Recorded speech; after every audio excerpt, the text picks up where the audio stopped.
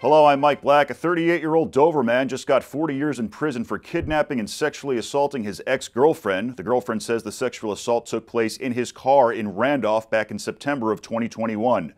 Rowan University alum Pat Ruley was just named the school's head football coach. Ruley spent the past six years as the associate head coach and defensive coordinator at Susquehanna University. He replaces head coach Jim Accorsi.